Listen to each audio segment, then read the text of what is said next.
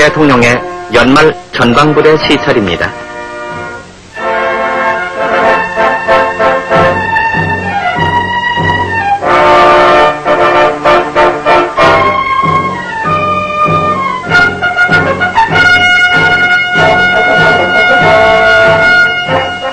박 대통령은 국군 부대와 미군 부대를 시찰하고 남북 간의 긴장이 완화되고 있다고 하더라도 천호방 장병들은 평화 수호라는 군 본연의 임무를 다하라고 당부했습니다.